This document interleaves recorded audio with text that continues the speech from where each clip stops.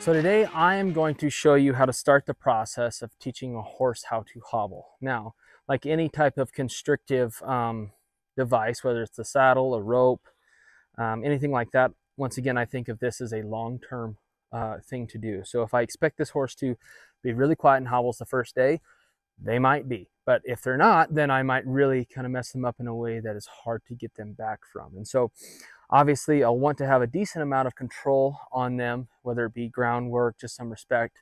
Um, I also, before I ever put a set of hobbles on one, I'll definitely have roped all of their feet, their flank, all sorts of different things. And we'll make some videos kind of how to do that.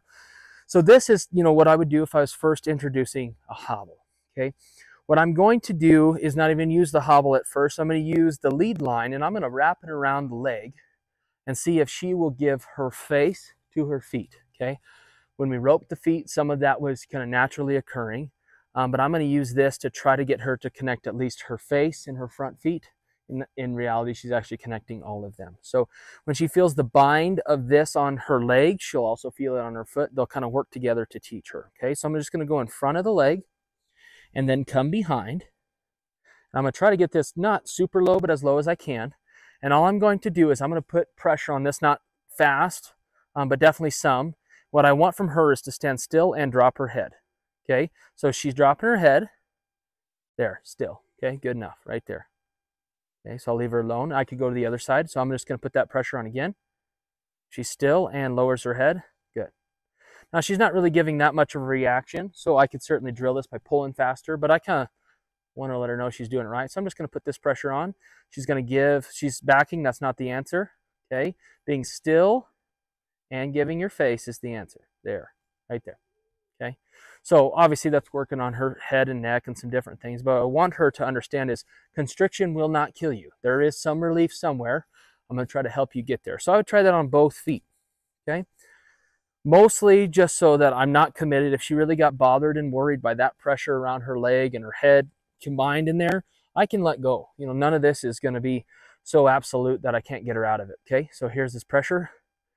What I want is for her to stand still and lower her head. Now she gives her foot in, in the meantime, that's okay. Okay, so I'm gonna put some more pressure on. See how she stands still. She's not feeling that and trying to back. She's not picking her foot up and hopping. So this tells me she understands some constriction, very unnatural, but she'll cope with it. So then I'm gonna use the first type of hobble, which is a piece of cotton rope. And honestly, you'll definitely want it to be longer than you think. Um, just so you don't have to kind of compromise the wrap that you put on their, their legs. So this is six feet. It's probably eight and a half, nine feet, okay? I think when you get to 12 feet, you're probably too long. So try to stay in that eight to 10 foot region. Okay. So I'm going to put this on her from the start and we're just going to see what happens. The goal, the thing that I'm looking for her to know that she's right is if I put it on, she puts constriction on herself and relaxes, then I take it off. Now, if she were to really get bothered and worried, if I feel like it's necessary, I will pop it off at that time. I don't want to go there first because I really do want her to realize that she can't get away from the constriction. She's got to find where I'm telling her to be in that constriction, okay? So just like when we put the saddle on, I mean, she doesn't get the option. It's going to be on there, okay?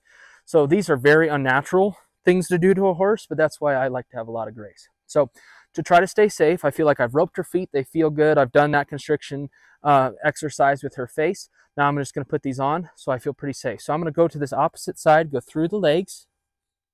And this method, as far as how to tie this up, is not original. Absolutely nothing on this channel is original. This is all I have learned from different videos and people. This is kind of how Pat Puckett does it. So if you want more explanation of that, definitely go to his channel. He's got some great stuff there. So what we'll do is we'll go through there and we're going to cross this two or three times, okay? We don't want it to be too long, so three is probably pretty good. Now, before I go any further, I'm going to hold the lead rope and just come right here, okay? If I want to have a middle check, I'm just going to pick up and pull on this and just see what happens. This is very similar to what she'll feel. What I want her to do is shift her weight, feel that, and put her foot back down. So I feel pretty safe with that, okay? Now, I'm going to go around the front and all the way back around, and I'm just going to tie a square knot that's got a bow in it or a slip in it.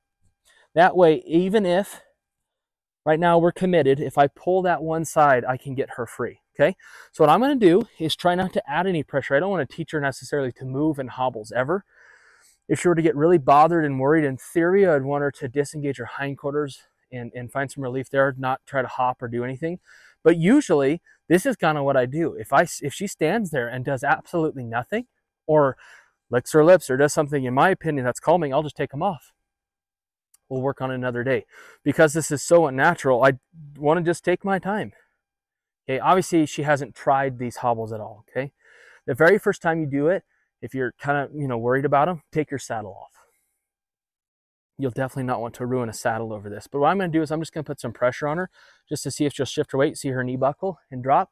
This would be when I would go and take it off. So I'll try it again just so you can see. She understands. They're tied. They're stuck there. Okay.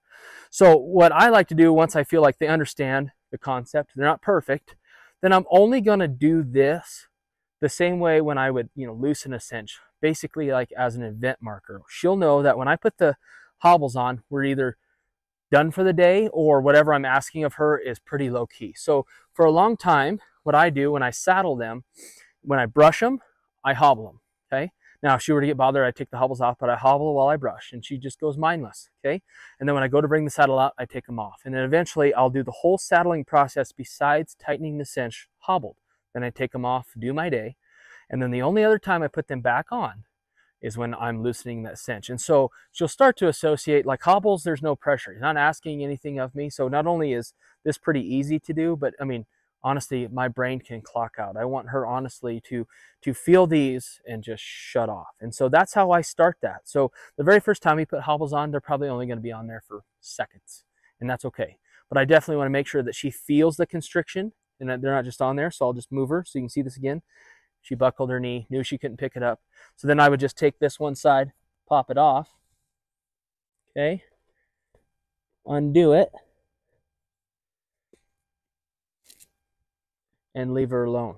Okay, so hobbling is one of those things that, in my opinion, it should take as long as it takes.